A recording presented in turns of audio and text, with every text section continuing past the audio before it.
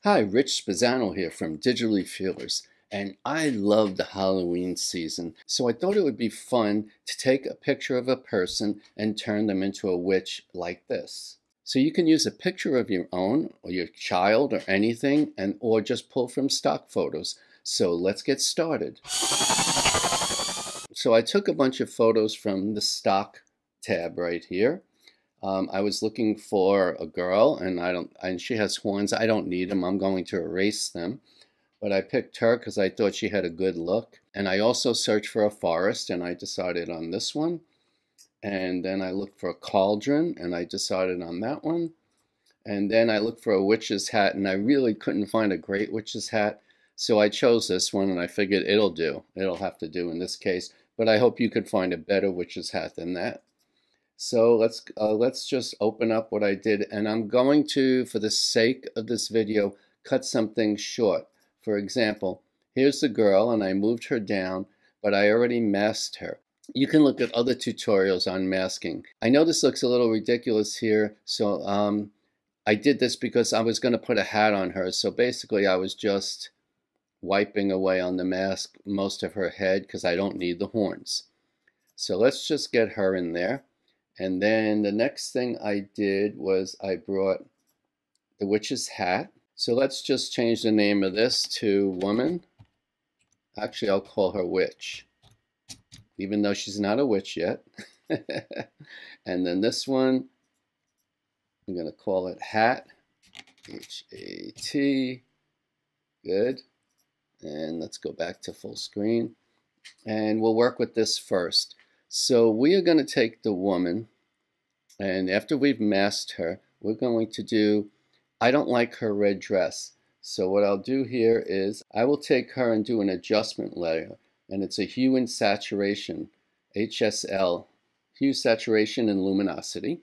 And I will choose the red color, and with the picker, I will just drag across the red. And that's really choosing the red color. For example, you could see that I did that.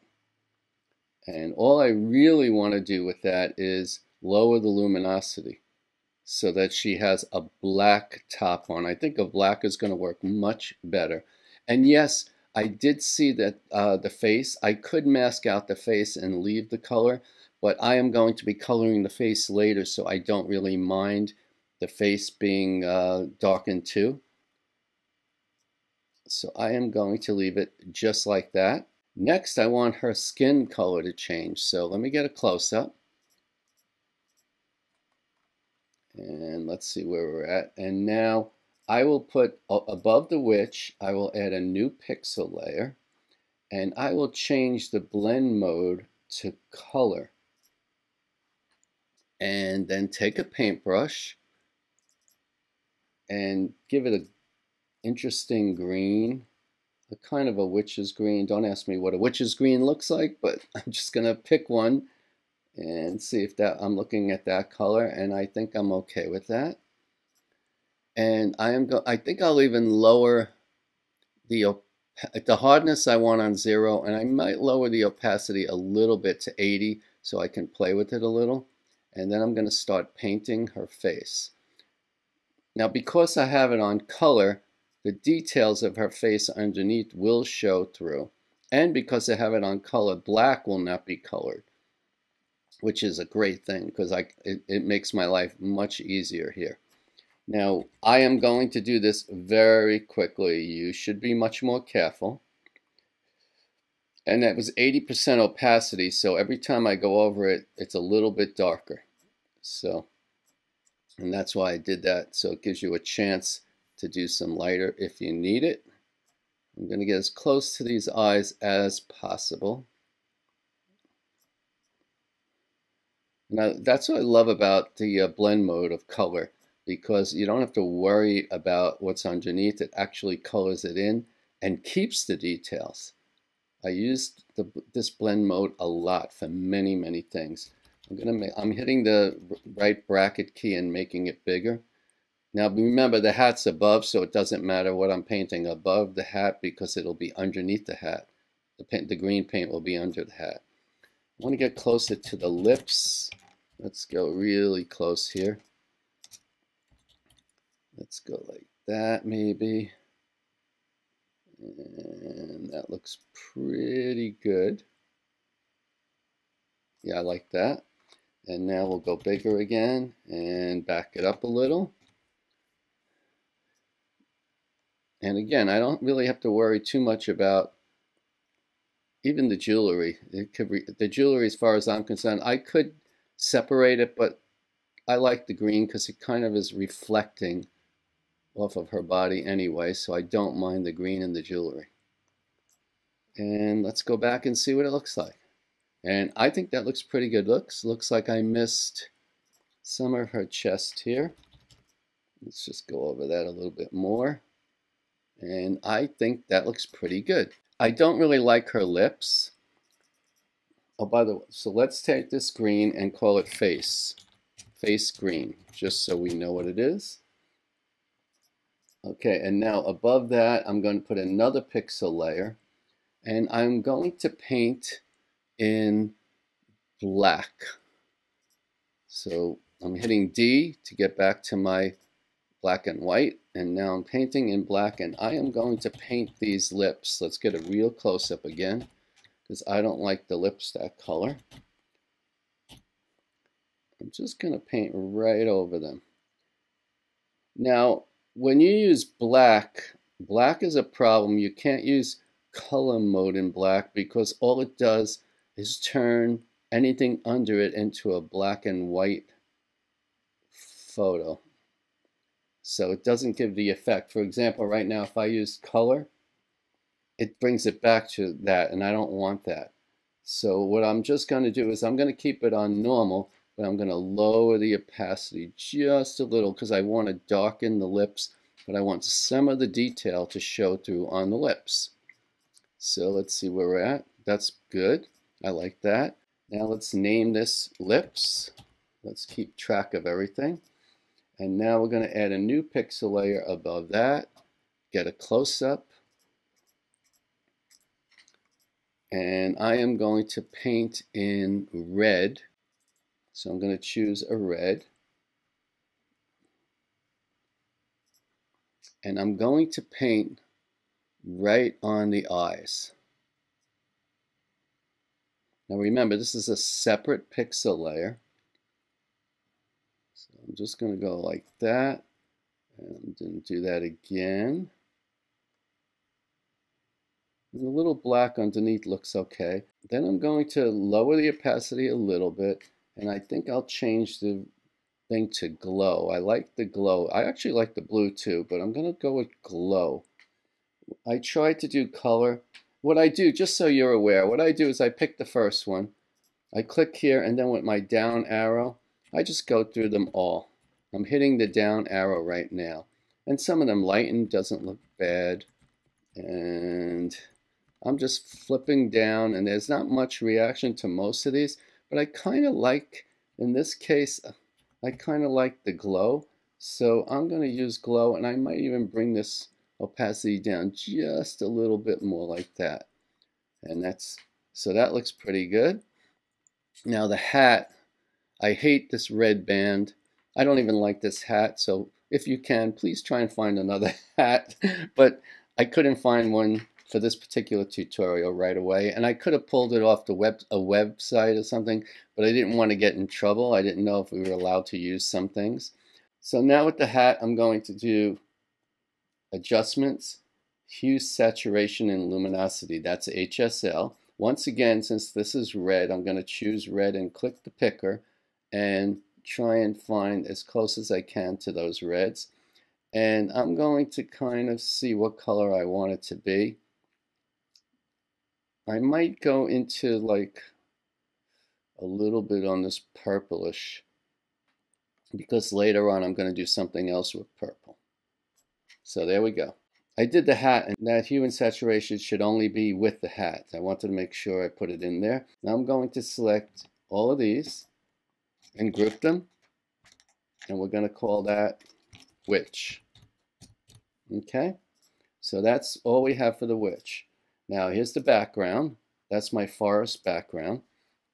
So let's play with the forest background right now. Okay, I think I want the forest background to look a little bit more eerie, so I'm going to go to Effects, and I'm doing a color over overlay, and I'm choosing a blue, and I'm going to go about a 30%. I don't want it all the way. I'm going to go about 30, around 30% opacity.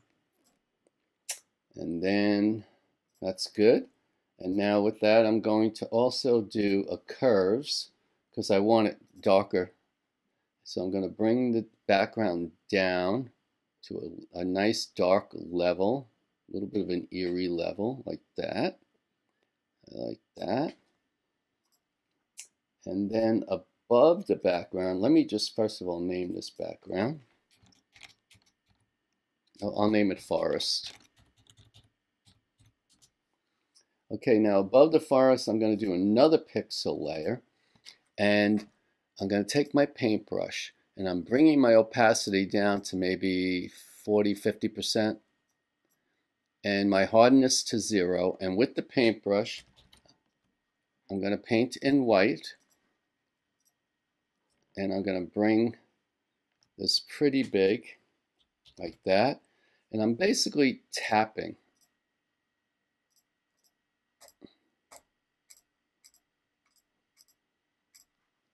just kind of like that behind. And I'm trying, what I'm trying to do is get the effect of a fog. So what I'll do now is I can give it a Gaussian blur. And then I'm going to change the opacity just to kind of make it look a little hazy. And I think that's good. So now I'm going to select these two, group them, and I'm going to call it um, background. All right. And now the other part I need is I, I brought in the cauldron. Remember this is the cauldron. Let me see if I can hide these so you can see. This is basically the cauldron that I brought in. That was my originals there. So let's bring these back. And I lowered it and I masked it. So you could see I just took the mask, brought it down, and I did that just like that. And the cauldron now, so I need to have some smoke coming out of there. So what I'll do is I'll add another pixel layer and I'll do partially what I did before. Remember with the white brush? And this time I'm going to be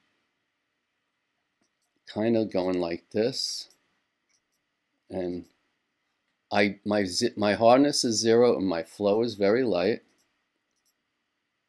something like that. And then I want one above it. And this one I want it to be just slightly darker, I think. So let's go like a little bit of a light gray. And and I'm doing, I know you can't see much because of the way this is happening. And I also think that I want this one to have a little color tint to it. So I'm going to give it effects. I'm going to give it a color overlay. And let's go with the purple like we did kind of with the hat. Something in this area, dark purple. And really lower the opacity on that. Let's close it. So now we're going to take the smudge tool. And with the smudge tool, we're just going to kind of do this kind of thing. Smudge them up. And then pick the white one and smudge a little. Whoops, that's too small. Pick a large size and give it a smudge like it's like it's doing something here and it's coming out of here.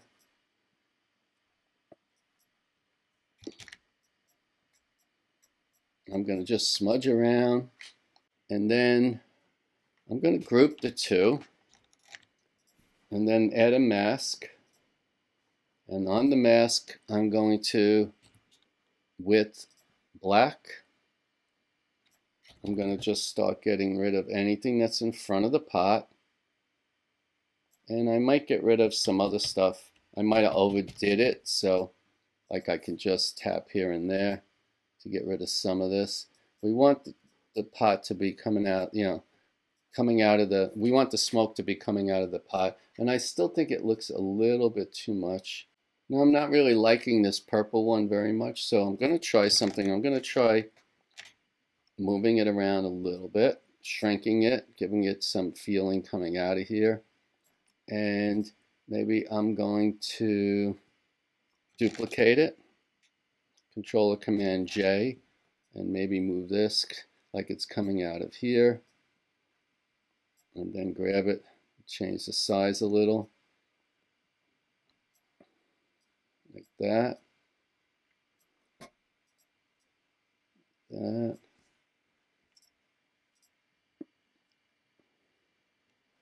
And I'm going to add a little bit more to the purple, I think.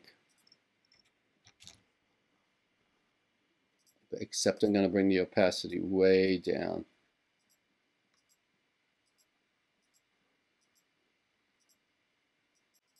And now back to the mask of the whole thing. And on the mask, I need to get rid of anything that's over the pot. We don't want anything over the pot here.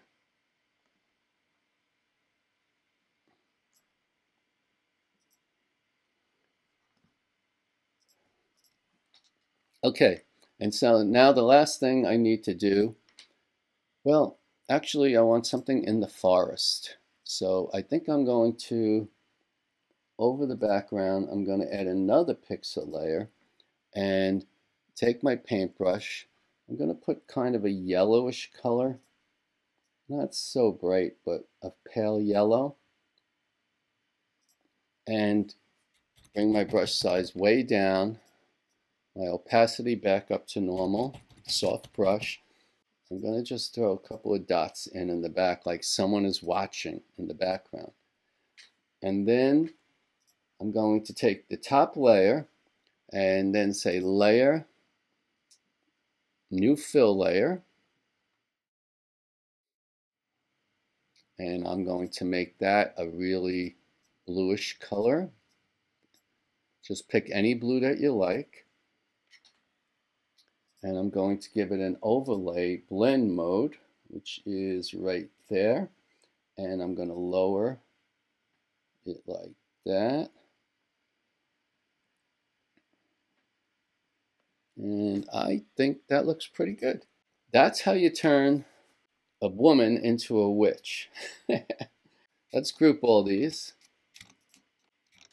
Control Command G we grouped that so now that I grouped it, you can see the before and after. Here's the after, and here's what she started out like. And you can use of any photo. You can use your kid's photo if you want. Uh, you can use a picture of you, or you can go to stock photos. I just picked one and, and said woman, and this is what I came up with. And and and try to use a better hat than I did because I can't stand the hat I'm using. But you, you get the idea. You can add text if you want bloody text or happy Halloween or anything like that. But uh, I, don't, I didn't want to go into it for this tutorial because I didn't want it to be too long. So I hope you like this. And if you did, please click like and subscribe and have a happy Halloween, everyone.